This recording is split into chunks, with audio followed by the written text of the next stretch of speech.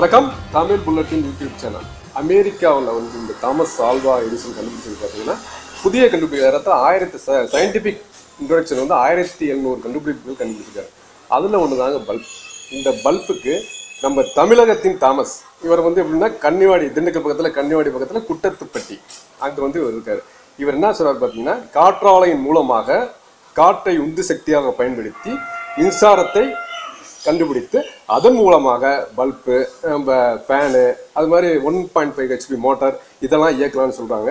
வாங்க அவர் வணக்கம் தான் சார் வணக்கம் சார் வணக்கம். வணக்கம். இப்போ வந்து ஆக்சுவலாக நம்ம பேசிருக்கும் போது கேள்விப்பட்டா எம்ஏ பிஎட் முடிச்சிருக்கீங்க. ஆமாங்க சார் பிஎட் முடிச்சு முடிச்சு இந்த இளம் விஞ்ஞானி இந்த மாதிரி கண்டுபிடிப்புகள் இதுக்கு வர காரணம் என்ன? நான் ஒரு சயின்டிஸ்ட் ஆகணும் அப்படிங்கிற எனக்கு ஒரு சின்ன வயசுலேருந்தே ஒரு இது இருந்துச்சுங்க. நமக்கு கண்டுபிடிக்கிறதுக்கான ஒரு சான்ஸும் கிடைக்கல.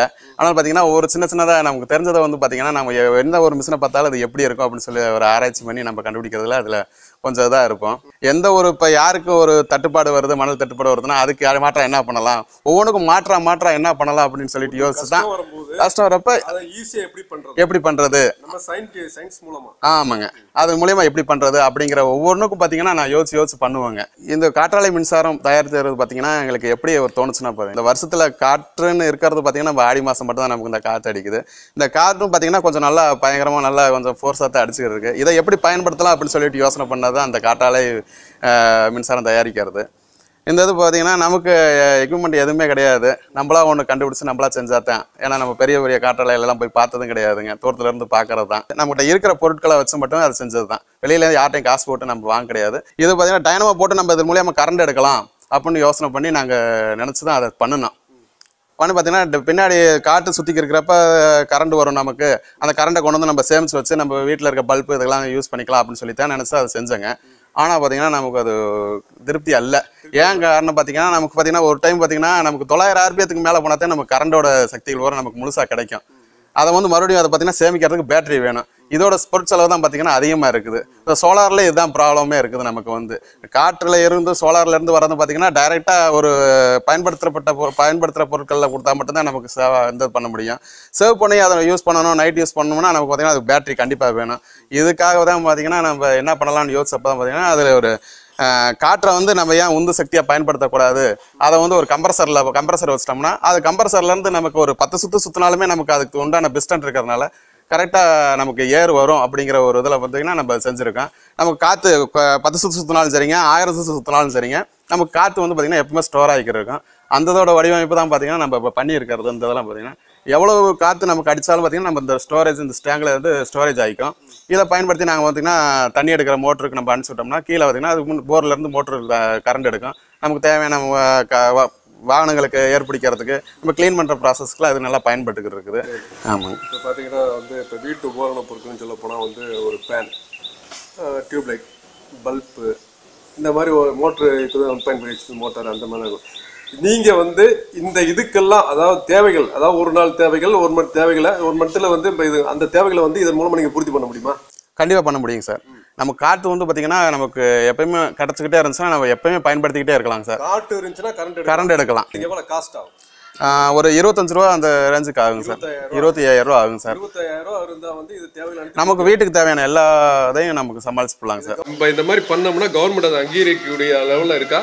சார் அங்கீகாரங்க இருந்து கவர்மெண்ட் வந்து நம்மளை தேடி பிடிச்சு நீங்க அதை பண்ணுவீங்களா அப்படின்னு சொல்லி கேட்க போறது கிடையாது. நம்மளா உன்னை உற்பத்தி பண்ணி நம்ம காமிச்சு இது யார் நீ உங்களை மாதிரி ஆளுங்க அங்கீகாரம் கொடுத்தாலும் மட்டும்தான் எங்களால் அங்கீகாரம்னு சொல்லி நாங்க ஏத்துக்க முடியும். கவர்மெண்ட் இது வரைக்கும் தேடி வந்தது கிடையாது.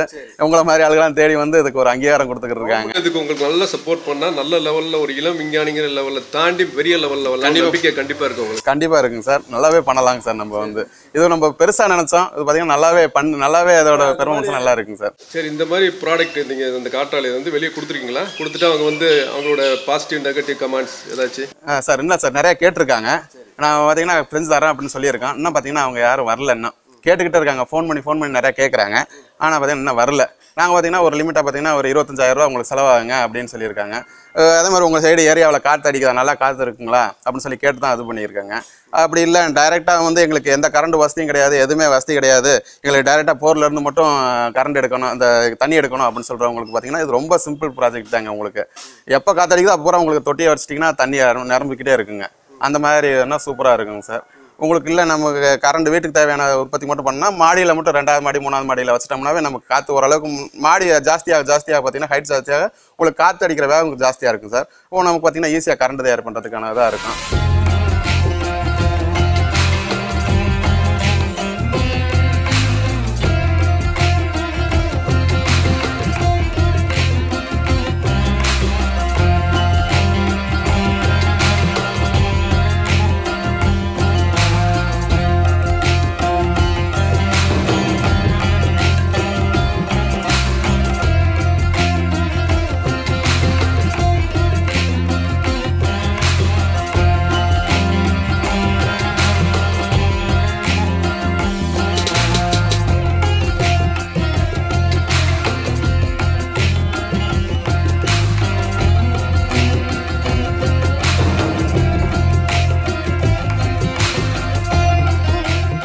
சோலார் பிளான்ட்னா வந்து வெயில் அடிச்சாதான் அது வந்து ஸ்டோரேஜ் ஆகும். ஆமாங்க சார். காற்று வந்து எனி டைம் உண்டு. கண்டிப்பாங்க. அது மூலமா வந்து உங்களுக்கு அந்த உற்பத்தியோட லெவலும் கண்டிப்பா அதிகமாகும். ஆமாங்க. அதனால சோலாருக்கு ஆல்டர்னேட்டா காட்டுல அதிகமாக கூட இதை வச்சுக்கலாம். கண்டிப்பாங்க சார். சொல்லுங்க அதை பத்தி.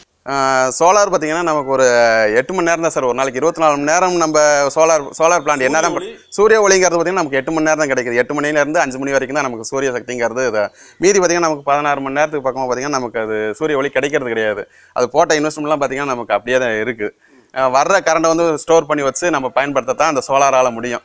அதுதான் பார்த்தீங்கன்னா இப்போ இருக்க நடைமுறையில். ஆனால் பார்த்தீங்கன்னா இது மாதிரி ஒரு சக்தியை வந்து காற்றோட சக்தியை பயன்படுத்தினோம்னா காற்று இருக்கிற பகுதியில் பார்த்தீங்கன்னா ஃபுல்லாகவே நமக்கு நைட்டும் பகலும் கரண்ட் கிடச்சிக்கிட்டே இருக்கிறதுக்கான வாய்ப்புகள் இருக்குது. பயன்படுத்த பார்த்தீங்கன்னா நம்ம இரவும் பகலும் பயன்படுத்திக்கலாம்.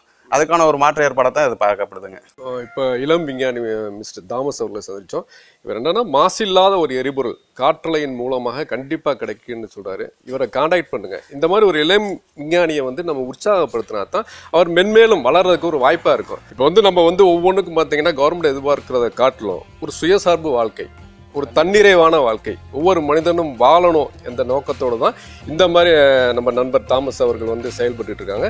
இன்னும் வெவ்வேறு கண்டென்ட் இருக்கு. இதுதான் ஃபர்ஸ்ட் நம்ம அவர் பார்த்தம்போது ஃபர்ஸ்ட் கண்டென்ட் இதுதான் இது மாதிரி வெவ்வேறு கண்டென்ட்ல நம்ம கண்டிப்பாக சந்திப்போம். வாழ்க வளமுடன். நன்றி சார்.